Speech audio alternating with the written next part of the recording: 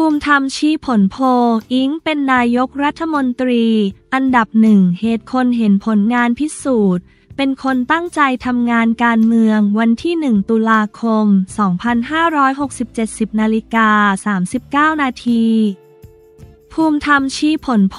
อิงเป็นนายกรัฐมนตรี อันดับหนึ่งเหตุคนเห็นผลงานพิสูจน์ เป็นคนตั้งใจทำงานทำให้เกิดประโยชน์ปัดวิจารณ์เทงไม่เป็นที่รู้จักเมื่อวันที่ 1 ตุลาคม 67 ที่ทำเนียบนายภูมิธรรมเวชยชัยรองนายกรัฐมนตรีและรัฐมนตรีว่า การกระทรวงกลาโหมให้สัมภาษณ์ก่อนประชุมคณะรัฐมนตรี ถึงผลสำรวจนิดาโพ คนส่วนใหญ่โหวตอิงแพทองทาน เป็นนายกรัฐมนตรีอันดับหนึ่งว่า โพก็เป็นการอย่างกระแส และสำรวจความคิดเห็น ซึ่งก็มีหลายสำนัก แต่การที่จะทำให้นางสาวแพทองทาน ชินวัตรนายกรัฐมนตรี ได้รับความนิยมเพิ่มขึ้นน่าจะมาจากผลการทำงาน เพราะตอนแรกที่เข้ามา ก็ยังไม่มีใครรู้ ไม่มั่นใจว่าจะสามารถทำอะไรได้ เนื่องจากอายุยังน้อย เมื่อเปรียบเทียบกับประวัติศาสตร์ที่ผ่านมาของรัฐบาล แต่จริง ๆ ก็เป็นเทรนด์ของโลก ผู้นำสมัยใหม่ก็ต้องการคนที่มีประสบการณ์ มีความรู้ความสามารถ แต่ขณะเดียวกันก็เปิดโอกาสให้คนรุ่นใหม่ ๆ ที่มีศักยภาพ ซึ่งผู้นำโลกหลายส่วนก็มีอายุประมาณ 40 ปีไม่เกิน 50 ปี ซึ่งเป็นการพิสูจน์ว่าอย่างน้อย นายกรัฐมนตรีก็เป็นผู้ที่ตั้งใจอยากจะทำงาน และทำให้เกิดประโยชน์เมื่อทำแล้วทำให้ประชาชนเกิดความรู้สึกชื่นชม ยินดีผลโหวตก็ออกมาแบบนี้เมื่อถามว่าเป็นเพราะนายนัทพงษ์เรืองปัญญาวุฒิ หัวหน้าพักประชาชนยังมีกระแสไม่ค่อยดี ไม่เป็นที่รู้จักเมื่อเทียบกับนายพิธา ลิ้มเจริญรัตอดีตหัวหน้าพักก้าวไกลด้วยหรือไม่ จึงทำให้คะแนนของนายกรัฐมนตรี ขึ้นนำนายภูมิธรรมกล่าวว่า ไม่กล้าไปพิจารณาของพักอื่น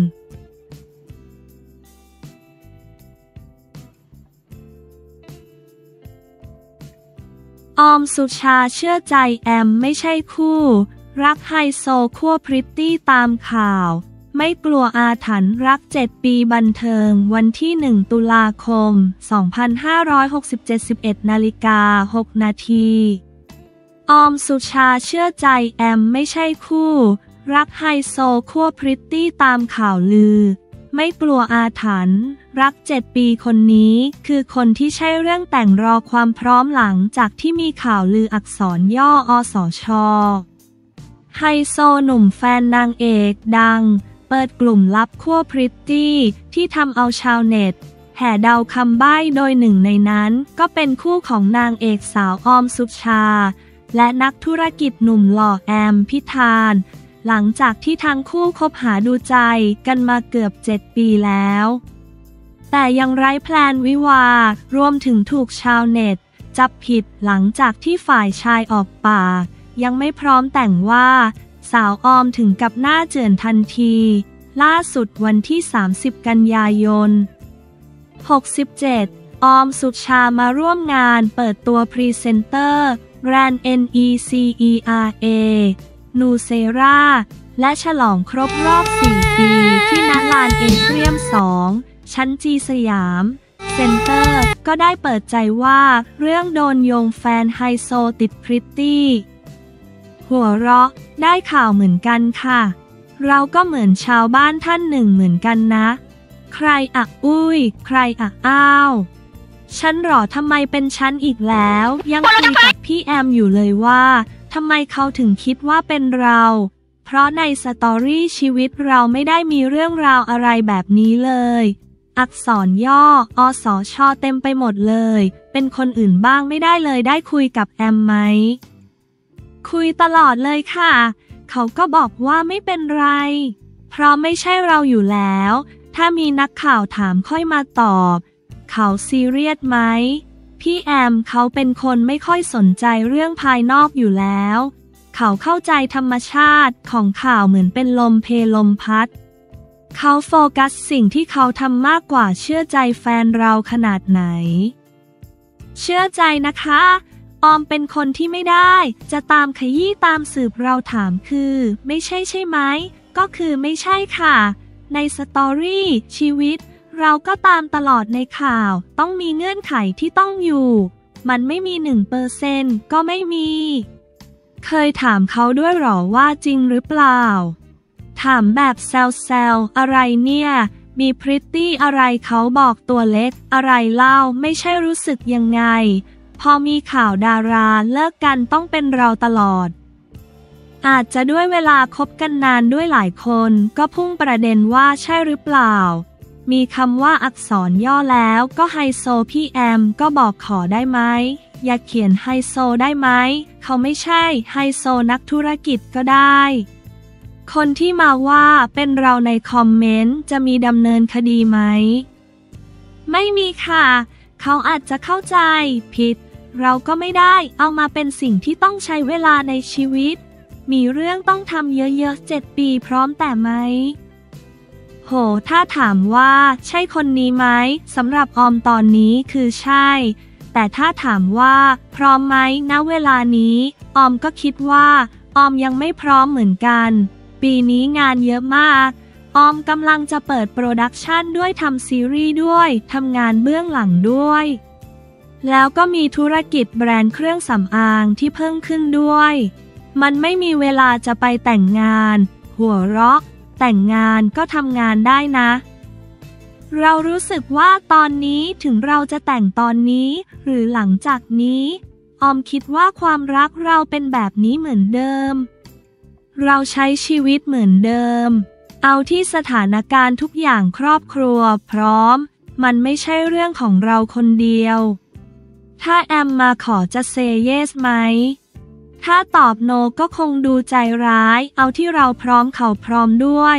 แสดงว่ารอเขามาขอ ไม่กดดันเขาเลย มีคนจับสีหน้าเราวันนั้น วันนั้นหน้าออมดูเพลีย เพราะเจ็ตแลกเพิ่งลงเครื่องแล้วมาทำงานเลย วันนี้ก็อาจเป็นแบบนั้นนะ เพราะท้องเสียสีหน้าตอนนั้นไม่ได้คิดอะไรเลย เพราะเราอยู่ด้วยกันทุกวัน เรารู้ความคิดเขาเรารู้การทำงานของเขาด้วยแอมเคยคุยไหมว่าอยากแต่งงานเมื่อไหรเขาบอกตลอดนะคะ ว่าอยากมีวันนั้น แต่เขาไม่ใช่คนที่จะต้องเท่านั้นเท่านี้ สมมุติเรารักคนคนหนึ่งเราก็บอกไม่ได้ว่า ต้องปีนั้นปีนี้สำหรับออมมันก็ไม่แฟร์ที่ต้องมาปักหมุดกับออมขนาดนั้น เคยคุยไหมว่า กี่ปี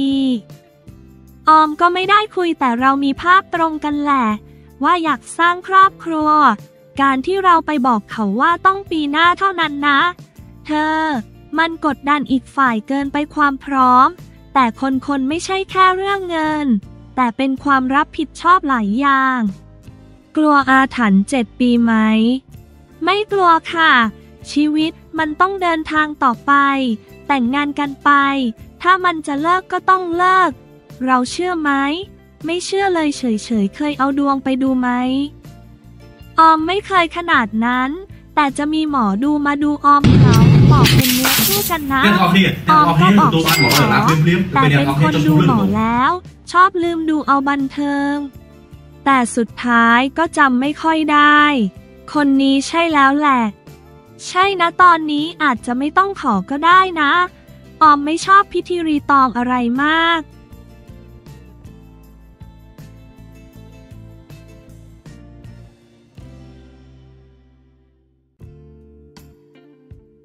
บทบรรณาธิการผลสำรวจคะแนนนิยมประเด็นร้อนวันที่ 29 กันยายน 2567 17นาฬิกา 41 นาที หลังงนสอแพทองทาน ชินวัตร ได้รับความเห็นชอบจากสภาผู้แทนราษฎร ให้ดำรงตำแหน่งนายกรัฐมนตรี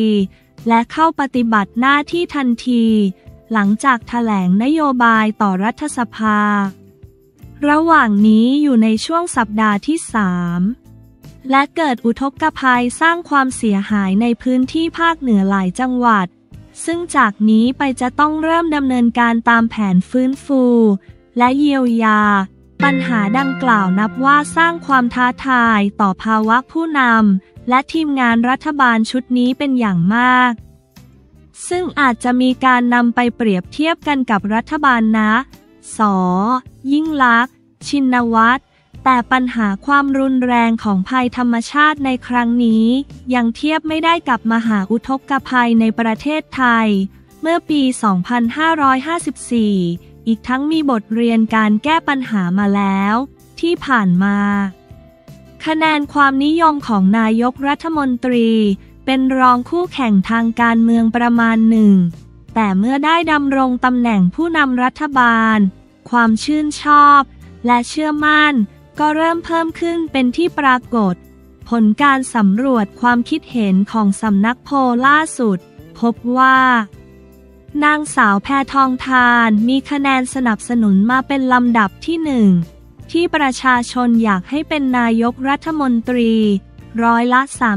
31.35 ระบุเหตุผลว่าเป็นเพราะมีความเป็นผู้นำและมีความพยายามในการแก้ไขปัญหาความเดือดร้อนของประชาชน ส่วนอันดับที่สองร้อยละ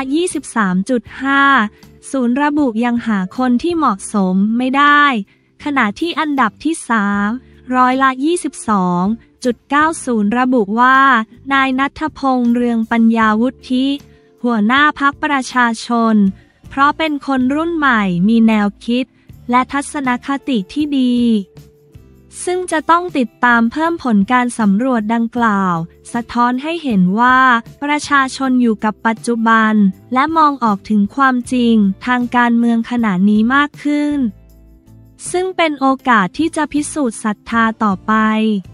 สำหรับนายกรัฐมนตรีก็จะได้แสดงศักยภาพความเป็นผู้นำตลอดจนวิสัยทัศน์การแก้ปัญหาทั้งระบบ โดยเฉพาะปัญหาเศรษฐกิจที่ประเทศไทย โตไม่เท่ากับความเป็นจริง ส่วนฝ่ายค้านก็ต้องสร้างความเชื่อมั่นว่ามีระบบความคิด นโยบายตลอดจนองค์ความรู้ที่แข่งขันได้กับรัฐบาล วาทกรรมทางการเมือง จะไม่ใช่สิ่งที่ประชาชนอยากได้ยินซ้ำๆอีกแล้ว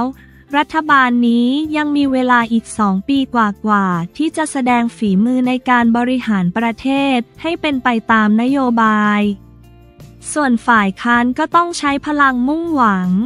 สร้างเชื่อมั่นว่ามีศักยภาพที่จะนำพาประเทศ ไปสู่ความก้าวหน้าได้เช่นกัน